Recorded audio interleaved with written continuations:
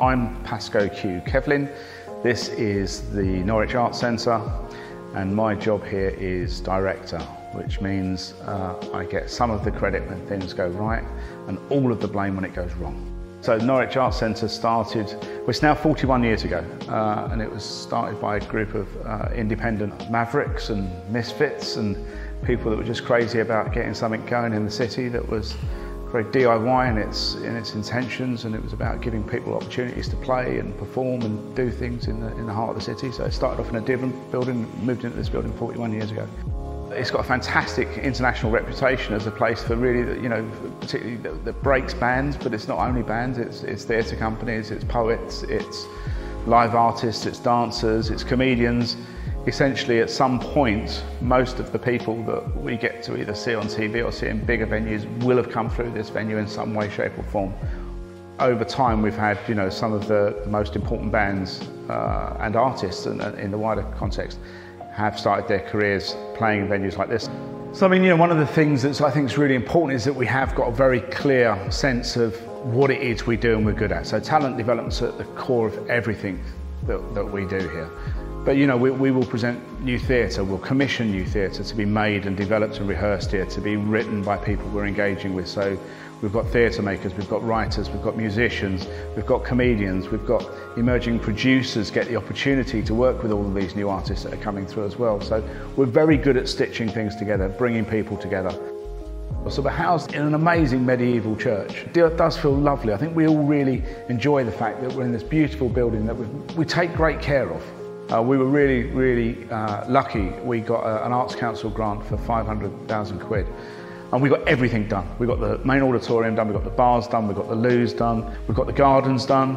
All of the tech kit is, is brand new. Uh, we've reduced our energy consumption massively. It's environmentally important. Of course it is at this moment.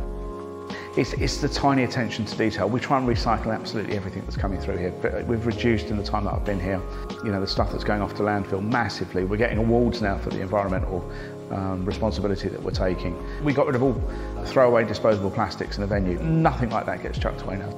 I think we've got one of the best bars in the city.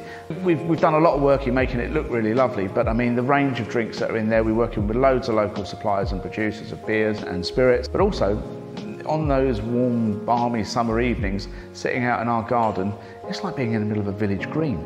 I think it's one of um, Norwich's best kept secrets is the Norwich Arts Centre Bar and Garden. Know, we've got uh, an organisation called Attitude is Everything. They're really uh, working alongside us, helping us to understand how we can make improvements to the building, in our staff training.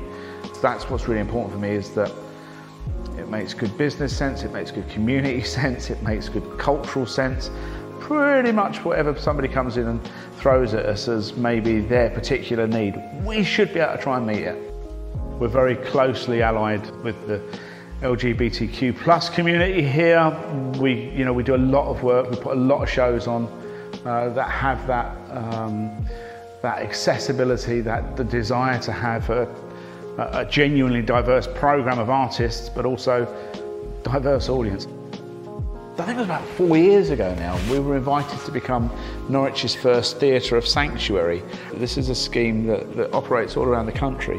But it was in recognition of the work that we were doing with diverse audiences and diverse artists and the fact that we uh, had chosen uh, a particular charity here in the city called New Roots who do work with asylum seekers and refugees. We've done a few events where we were trying to raise some money for them and demonstrating that these people should feel welcome in our community and there's a charity there that's working really hard to make sure that these people are being given opportunities. So we see it as our responsibility, our social responsibility to get involved in that and to support them as and when we can. We're really pleased, we've got the Young Norfolk Arts Trust, they're based here in an office. They're the professionals, they, they know what they're doing when it comes to young people's work. Partnering now with our young people's work with, with this trust, they also allows us to I don't know, to go out to places like Great Yarmouth and to be involved in something that might be going on there, or to go to King's Lynn, places that are outside and away from Norwich.